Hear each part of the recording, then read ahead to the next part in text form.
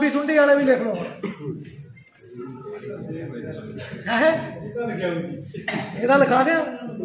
ਭਾਈ ਜਿਹੜੇ ਹਜੇ ਟਿੰਡੇ 'ਚ ਸੁੰਡੀ ਨਹੀਂ ਵੜੀ ਉਹਦੇ ਵਾਸਤੇ ਆ। ਠੀਕ ਹੈ? ਐਤਕੀ ਤਾਂ ਚਲੋ ਵੜ ਗਈ।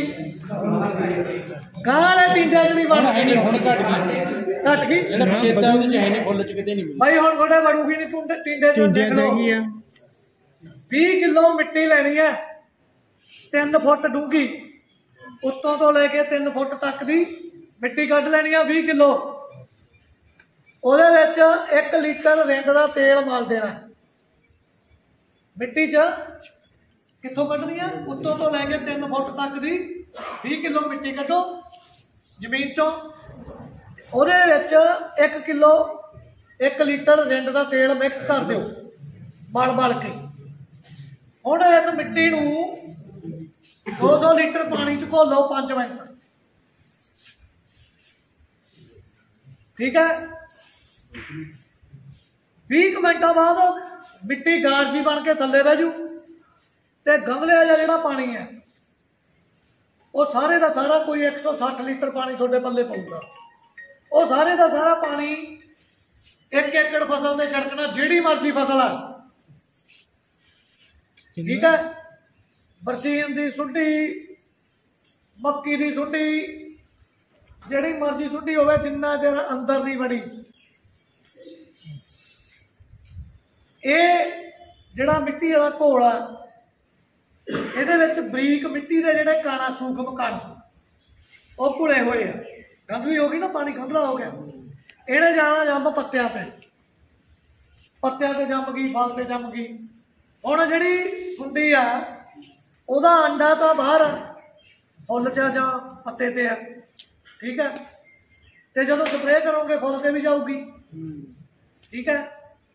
ਤਾਂ ਉਹਨੇ ਕੀ ਕੀਤਾ? ਅੰਡਾ ਦੇ ਵਿੱਚੋਂ ਜਦੋਂ ਬੱਚਾ ਨਿਕਲਿਆ ਤਾਂ ਉਹਨੇ ਕੀ ਖਾਧਾ? ਮਿੱਟੀ ਵਾਲਾ ਫੁੱਲ ਜਾਂ ਮਿੱਟੀ ਵਾਲਾ ਪੱਤਾ। ਠੀਕ ਹੈ? ਤੇ ਜਿਵੇਂ ਮਿੱਟੀ ਉਹਦੇ ਅੰਦਰ ਗਈ ਉਹਦਾ ਰਾਮ ਨਾਮ ਸਤ ਕਰ ਦੂਗੀ ਕਿਉਂਕਿ ਸੁੰਡੀਆਂ ਦੇ ਤੇ ਰਸ ਚੂਸਣ ਵਾਲੇ ਕੀੜਿਆਂ ਦੇ ਲਿਵਰ ਤੇ ਫੇਫੜੇ ਨਹੀਂ ਹੁੰਦੇ, ਇਸ ਕਰਕੇ ਉਹ ਮਿੱਟੀ ਨੂੰ ਪਚਾ ਨਹੀਂ ਸਕਦੇ। ਤੇ ਜਿਹੜੀ ਬਾਕੀ ਦੀ ਕਸਰ ਹੈ ਵੀ ਤੁਹਾਡੇ ਆਵੇ ਨਾ ਅਟੈਕ ਦੁਬਾਰੇ, ਉਹ ਰਿੰਡ ਦੇ ਤੇਲ ਦਾ ਕੌੜਾ ਪਾਣਾ ਜਿਹੜਾ, ਉਹ ਨਹੀਂ ਆਉਣ ਦਿੰਦਾ। ਜਿਹੜੀਆਂ ਸੁੰਡੀਆਂ ਦੇ ਮਗਰ ਤੁਸੀਂ ਢੋਲੀਆਂ ਚੱਕੀ ਫਿਰਦੇ ਹੋ, ਉਹਨਾਂ ਦੀ ਮੰਮੀ ਆਂਡੇ ਦੇਣ ਤੋਂ ਪਹਿਲਾਂ ਸਰਦੇ ਕਰਦੀ ਹੈ ਮਾਤਾ ਪਤੰਗਾ। ਵੀ ਜੇ ਮੈਂ ਇਸ ਸਾਲ ਦੇ ਆਂਡੇ ਦਿਉ ਆਂਡਿਆਂ ਤੋਂ ਨਿਕਲਣ ਤੋਂ ਬਾਅਦ ਮੇਰੇ ਬੱਚੇ ਨੂੰ ਖਤਰਾ ਤਾਂ ਨਹੀਂ। ਜੇ ਉਹਨੂੰ ਲੱਗੇ ਵੀ ਖਤਰਾ, ਤਾਂ ਉਹ ਉੱਥੇ ਆਂਡੇ ਨਹੀਂ ਦਿੰਦੀ। ਗਾਹ ਹੋ ਜਾਂਦੀ ਹੈ ਨੇਰ ਪੱਖ 'ਚ ਇਹਨਾਂ ਦਾ ਮੇਲ ਹੁੰਦਾ। ਚਾਨਣ ਪੱਖ 'ਚ ਆਂਡੇ ਦੇ ਕੇ ਦੋ ਦਿਨਾਂ ਦੇ ਅੰਦਰ ਅੰਦਰ ਮਾਦਾ ਪਤੰਗਾ ਨੇ ਮਰ ਜਾਣਾ ਹੁੰਦਾ। ਸਮਝ ਗਏ? ਤਾਂ ਇਹਦਾ ਮਤਲਬ ਇਹ ਹੈ ਕਿ ਮੱਸਿਆ ਵਾਲੇ ਦਿਨ ਸ਼ਾਮ ਨੂੰ ਕੋਈ ਵੀ ਕੌੜਾ ਘੋੜਾ ਆਪਣੀ ਫਸਲ ਤੇ ਛਿੜਕੋ। ਤੁਹਾਡੇ ਖੇਤ ਆਂਡੇ ਨਹੀਂ ਜਾਊ ਪਤੰਗਾ ਮੈਂ ਵੀਡੀਓ ਬਣਾ ਬਣਾ ਕੇ ਦੱਸਦਾ, ਪਰ ਸੁਣੇ ਤਾਂ ਕੋਈ ਤਾਂ ਹੀ ਆ। ਹੁਣ ਸਾਰਿਆਂ ਦੇ ਹੱਥ 'ਚ ਕਾਪੀਆਂ ਲਿਖੇ ਤਾਂ ਤਾਂ ਹੀ ਹੈ ਠੀਕ ਹੈ? ਤਾਂ ਆਂਡੇ ਤੋਂ ਸੁੰਡੀ। ਤੇ ਪਤੰਗੇ ਤੋਂ ਆਂਡਾ। ਕੁਦਰਤ ਦੇ ਕੰਟਰੋਲ ਪਤੰਗਿਆਂ ਨੂੰ ਕੌਣ ਖਾਂਦਾ ਸੀ? ਹੈਲੀਕਾਪਟਰ। ਤੇ ਜਿਹੜੀ ਝੋਨੇ 'ਚ ਪਦਾਨ ਸਿੱਟੀ ਉਹਨੇ ਕਿਹਨੂੰ ਮਾਰਿਆ? ਹੈਲੀਕਾਪਟਰਾਂ ਨੂੰ। ਠੀਕ ਹੈ? ਚਿੜੀਆਂ, ਗਟਾਰਾ, ਲੰਮਾ ਜਿਹਾ ਕਾਲੀ ਪੂਛ ਵਾਲਾ ਰੰਗੋ। ਤੇ ਉਹ ਜਿਹੜਾ ਲੱਕੜ ਦੇ ਵਿੱਚ ਟੁੱਕ ਟੁੱਕ ਕਰਦਾ, ਉਹ ਪੰਛੀ। ਇਹ ਸਾਰੇ ਕੀ ਉੱਡੇ ਜਾਂਦੇ ਪਤੰਗਿਆਂ ਨੂੰ ਫੜ ਕੇ ਖਾਣ ਵਾਲੇ। ਪੰਛੀ ਕਿੰਨੇ ਕੁ ਆਪਣੇ ਕੋਲ? ਹੈ? ਪੰਛੀਆਂ ਦਾ ਰਹਿਣ ਬਸੇਰਾ ਕੀ ਹੁੰਦੇ ਆ? ਜੇ ਆਪਾਂ ਦਰਖਤ ਛੱਡਿਆ ਖੇਤਾਂ 'ਚ ਕੋਈ? ਇੱਕ ਚਿੜੀ ਇੱਕ ਮਿੰਟ 'ਚ ਚਾਰ ਸੁੰਡੀਆਂ ਖਾਂਦੀ ਆ। ਚੌਥੀ ਸੁੰਡੀ ਖਾ ਕੇ ਉੱਡਣ ਲੱਗੀ ਦੀ ਪਿੱਠ ਨਿਕਲ ਜਾਂਦੀ ਆ। ਸੁੰਡੀ ਖਾ ਕੇ ਕਿਹਦਾ ਫਾਇਦਾ ਕੀਤਾ? ਤੇ ਬੈਠ ਕਰਕੇ ਕਿਹਦਾ ਫਾਇਦਾ ਕੀਤਾ? ਸਾਡਾ। ਤੇ ਸੁੰਡੀ ਬੈਠੂ ਚਿੜੀ ਬੈਠੀ ਕਿੱਥੇ? ਚਿੜੀ, ਕੰਡਿਆਲੀਆਂ, ਝਾੜੀਆਂ ਫੇਰੀਆਂ ਉਹ ਪਸੰਦ ਕਰਦੀ ਆ। ਆਲਣਾ ਪਾਉਣ ਵਾਸਤੇ, ਕਿਉਂਕਿ ਬੇਰੀ ਉੱਤੇ ਬਿੱਲੀ ਨਹੀਂ ਚੜਦੀ ਸਮਝ ਗਏ? ਬਾਜ ਨਹੀਂ ਵੜਦਾ।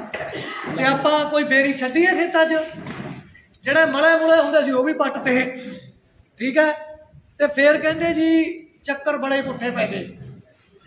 ਅਸੀਂ ਜੋ ਕੀਤਾ, ਉਹਦਾ ਖਮਿਆਜਾ ਭੁਗਤਦੇ ਪਏ ਆ ਕੁਦਰਤ ਨਾਲ ਖਿਲਵਾੜ ਦਾ ਠੀਕ ਹੈ? ਆ ਜਿਹੜੀ ਸਪਰੇਅ ਮੈਂ ਤੁਹਾਨੂੰ ਦੱਸੀ ਆ, ਹਰ ਹਫ਼ਤੇ ਕਰਦੇ ਰਹੋ। ਸਪਰੇਅ ਤੇ ਕੋਈ ਪੈਸਾ ਲੱਗਿਆ? ਰਿੰਡ ਦੇ ਤੇਲ ਦਾ ਹੀ ਆ।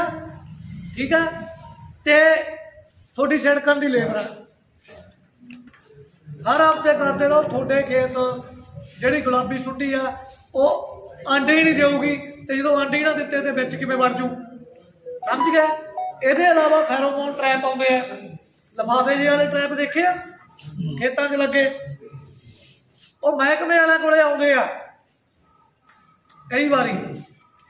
ਉਹ ਦੋ ਚੌਹਾਂ ਨੂੰ ਦੇ ਕੇ ਨਾ ਟਰੈਪ ਬਾਕੀ ਕਾਠ ਮਾਰ ਕੇ ਰੱਖ ਲੈਂਦੇ ਆ।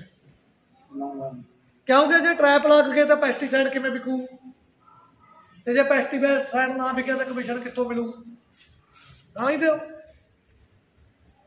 ਤਾਂ ਇਹ ਇਹ ਜਿਹੜੇ ਤਰੀਕੇ ਆ ਜੇ ਸਮੱਸਿਆ ਹੈਗੀ ਆ ਤਾਂ ਸਮੱਸਿਆ ਦੇ ਹੱਲ ਵੀ ਹੈਗੇ ਨੇ।